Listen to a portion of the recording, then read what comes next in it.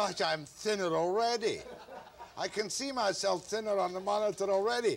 You know, you're a wee bit of a phony, Arnold, aren't you? No, not at all. Just a wee bit.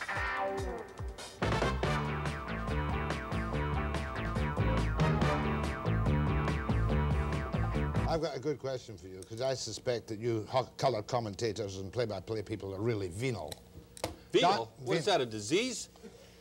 It's not far away, it's a mental disease.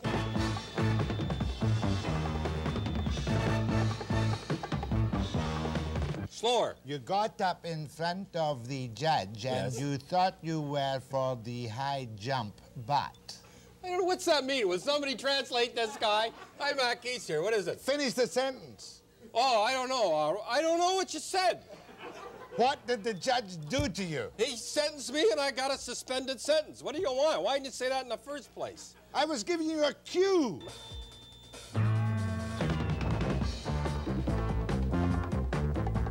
What's your wife's first name? Rose.